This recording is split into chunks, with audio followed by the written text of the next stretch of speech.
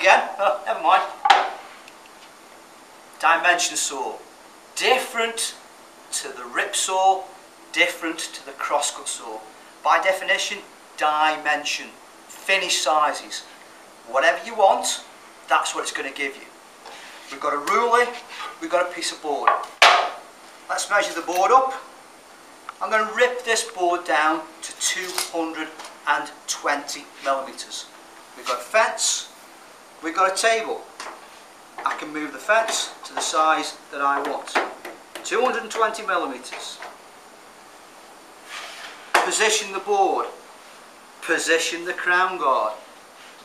Again, normally, extraction would be on, but I've got my eyes, I've got my ears, we'll cut this board down to size. So it'll come from me to you over there, so get ready to catch it.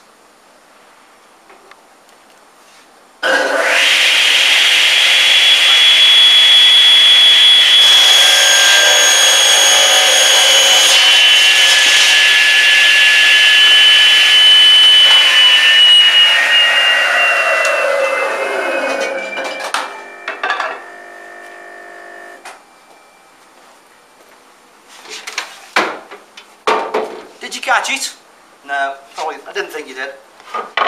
We've got the right size that way. Now we need to cut the right size this way.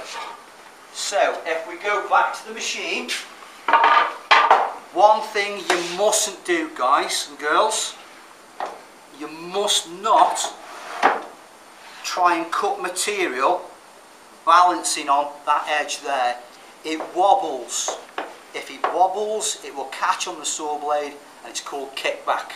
And it will throw this, piece- this piece of material back at you and it hurts. So, you never square material off the fence, that side. You square it off the fence, this side. So I'm going to bring into play another toy. This is it. It might not look much, but we've now got a fence that bolts to the machine top. I can undo the table, I can now move the table backwards and forwards. If I wanted to, I can angle my material, but I'm only going to do a piece of material at 90 degrees. Fingers, one hand there, one hand there, spot the deliberate mistake. Are you saying anything? Can you hear anything? If you put your thumb there, bad idea. If you put your thumb there and do that, good idea because now your thumb isn't a problem. So we're going to skim one end, we're going to turn it around, we're going to then cut to size. So same as before, eyes and ears on.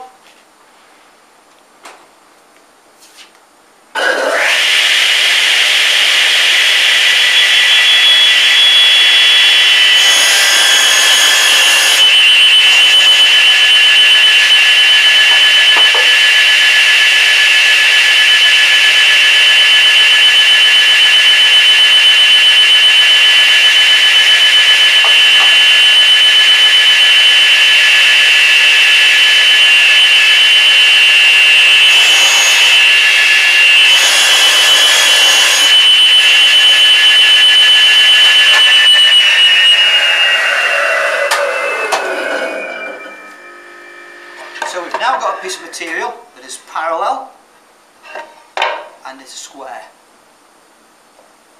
How hard can it be?